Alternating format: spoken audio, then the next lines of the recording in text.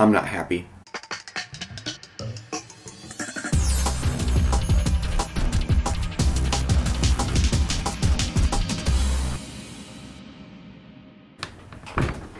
So, I got a MeiYu, and it worked okay. The main thing was that it just felt really sluggish on the inner layers. Moyu said there was an issue with the center caps, so they sent out new ones. Now, before I got those new ones, I end up getting another one. Still kind of sluggish in the inner layers. Then the new caps came out, but they're they're taking a while to really get to everyone. So I bought a MeiYu that had the new ones. It's nicer. It's not amazing, but it's nicer. I finally got the caps. And in my unboxing video, which I'll have a link in the description, I compared them to the new ones. I compared the new ones to the old ones, and I couldn't find a single difference. They looked exactly the same. Well, I went and installed them, and when I got them installed, I just took a few pieces out, put those in, and it was bad. It was really, really grindy. So I thought, okay, I did something wrong. Took the whole cube apart. Then I put it back together. For any of you who have put together 4x4, you know the difficulty of it. Um, but was even this is this cube is actually really well structured where it would be hard to pop a piece out of this, which makes it also really hard to put together. So I put it back together and there are certain pieces that have to fit in. Put it back together and still like this. So I looked it up online. And a couple other people who have gotten the new caps and put them back together that I've read have the exact same issue. The exact same thing. That the new caps are worse. They're actually worse. Now, one thing that is nice, these outside layers are amazing. These are possibly the best outside layers of any 4x4 in the market. And if those inside layers were just as smooth, this would be the best 4x4 in the market. But it's not. So what are, what's the issue? My thinking is that it's the internal pieces that go in between the centers. So for those who don't know how 4x4, for pretty much most 4x4s on the market, is that it's actually a 5x5.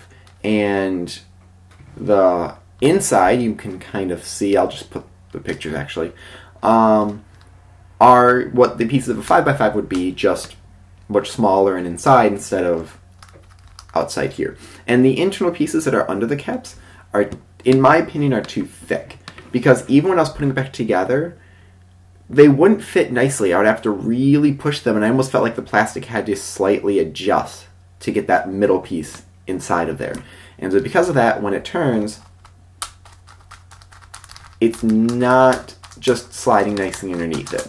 It's catching and hitting those bumps every single time. Now I could break this in and just really turn it, which I'm going to try to do. But this one's fine. Now here's the, the weird thing though.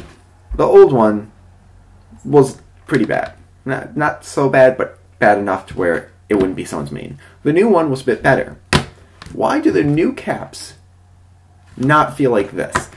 I don't know. So, I think I might at some point try to mod those inner pieces. But I'm going to try to contact Moyu first and see if I can get some explanation, something about this. Cong's design, all the cubes have been amazing. The ones that he's designed before they got their own Cong's design label, awesome. The Yu Ying and Mei Ying, awesome. Many people consider the best cube out there. When the 4x4 came out, everyone was looking at the designs like this is going to be amazing, and it came out and ugh, something was up. They tried fixing it. It still hasn't been completely fixed. I know a lot of companies don't have the caps, but those who do, I, I can't recommend it. I don't know what to do about this. So, if you're looking to get a 4x4 right now, any other money, get an AoSu. I'll have a link in the description to speedcube.com.au. Um, they're the ones who've been sending me the caps and the 4x4. I understand. Some I get a lot of comments every time I make a video. They're like, "Why in Australia? Are you from Australia?"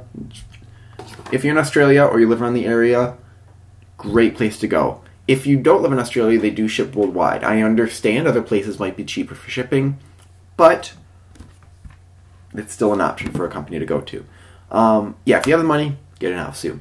If you want something a little bit cheaper, then something like the Cyclone Boys G4 for the mini size, or the YuXin still pretty good. I'm not as big a fan of the Guansu as many people are, but there's those for the option. I'm hoping they come up with a third version of this, and I'm hoping the community is not still upset about it. Hopefully, we can look past it. Um, but if you get the caps, try it. If it works for you, let me know because I have not met anyone who's tried the caps and they've actually worked. It's all made it worse.